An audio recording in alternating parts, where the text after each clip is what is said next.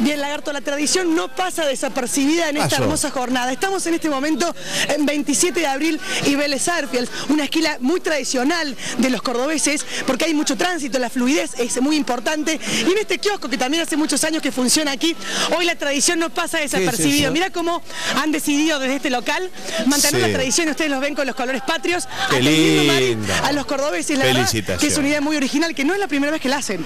No, no, nosotros somos una, una empresa familiar que hace 22 años que estamos aquí en- con la agencia al frente de la lotería. Qué lindo. Y bueno, mi madre dice que no se festeja el Halloween y sí el Día de la Tradición, así que es costumbre nuestra hacer firitos, pan caseros, mates para todos los clientes. Bueno, los clientes tempranito arrancaron porque digo, había fritos, había recién mate con pan con dulce de leche, se quedaron sin. Sin nada, sin nada. Pasa el cliente y la gente, todo el mundo come, así que bueno, están todos bien recibidos aquí. Bueno, está bueno esto de hacernos recordar las raíces, así que muchas gracias. No, gracias a ustedes por acercarse. Bien, Lagarto, 27 de abril y Vélez Arfield. La tradición en Muy vivo bien. y en directo se lo mostramos y se lo contamos.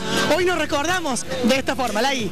Bueno, muy bien, muy bien, bien. Ahí Matienzo, está. ay, qué lindo. La verdad que tuvimos flojo nosotros. Hoy tendríamos Sí. que haber tomado unos mates. Tomamos ¿eh? más. Es verdad. por supuesto. Tuvimos flojo. Es verdad. Sí, ¿no es cierto, Dante? Unos Sí, matecitos. unos buenos mate amargos. Sí, exactamente. totalmente. Amargo, amargo. Amargo. Por supuesto. que sí. Y hacer una Amargo. empanadita, unos sachets de carne para Gente, Ustedes en Corrientes tienen el porongo con la boca ancha, ¿no? Eh, sí, es el mejor para tomar mate amargo, lagarto. Está bien. Sí. está bien. Ese es Exactamente. ideal. Ese Ideal.